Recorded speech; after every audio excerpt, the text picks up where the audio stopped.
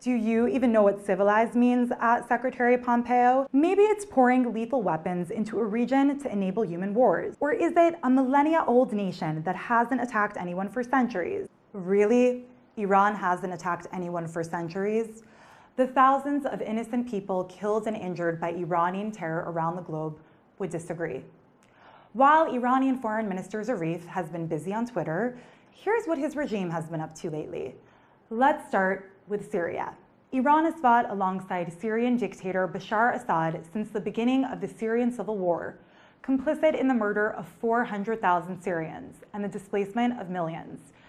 In late August, Israel thwarted an attack from Syria in which Iranian operatives attempted to use killer drones to attack communities in northern Israel. Less than a month later, IRGC militants attempted to launch a series of rockets from Lebanon into Israel. Speaking of missiles, Iran also funds Hezbollah, a Lebanon based terror organization which has launched thousands of rockets and missiles at Israel over the last three decades. Today, it has more than 150,000 rockets directed at Israel, courtesy of Iran. On September 1st, the Iranian proxy fired several anti tank missiles at a community in northern Israel and at an IDF position. Iran also financed the terror tunnels between Lebanon and Israel, built by Hezbollah to kidnap and murder innocent Israeli civilians. Iran and its proxies are not only targeting Israelis. Hezbollah is responsible for murdering thousands of people in terrorist attacks around the globe. And in the past year alone, Three separate Iranian assassination attempts were thwarted by European authorities in Denmark, France, and Austria.